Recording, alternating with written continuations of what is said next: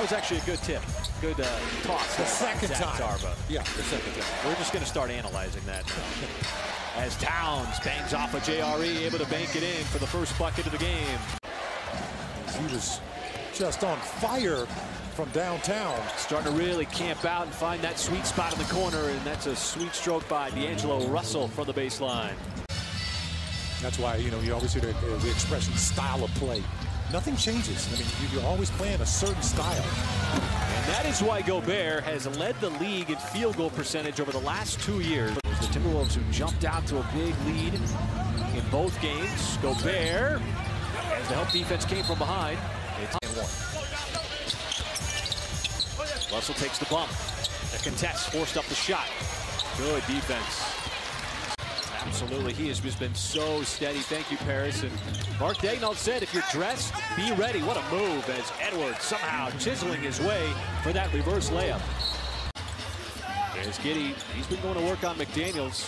Trying to find those creases on the drives. Now Kenrich off the deck, pulls up for the three. Two games Knicks played so far. It's the Thunder and also Utah. And for D'Angelo Russell, no on the three.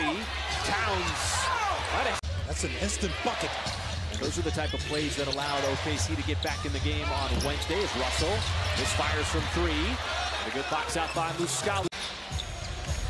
Now, a lot of up and down pace here between these two teams. That's in the Thunder's favor. And there is Gobert as Russell put it up there for him. Easy slam. And Come on, Mike. Making it look easy. Absolutely. A guy like Mike Muscala, who's been with the Thunder organization for quite some time now. They know exactly what they can get out of him, but they can also continue to utilize his skill sets in Marcus, yeah, I, I walked.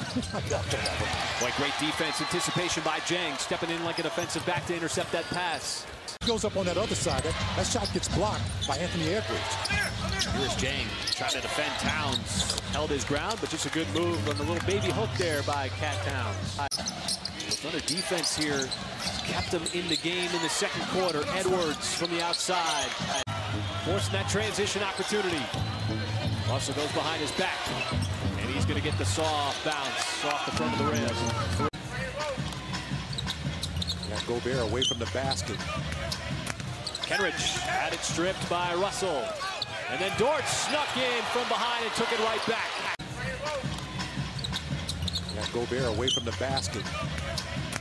Kenrich had it stripped by Russell. And then Dort snuck in from behind and took it right back. Got a 9 to 5 advantage in the first half. Just to keep that pace up. Gobert, deep catch and a slight move to spring himself free for the layup. Did enough to get it back as Giddey hoists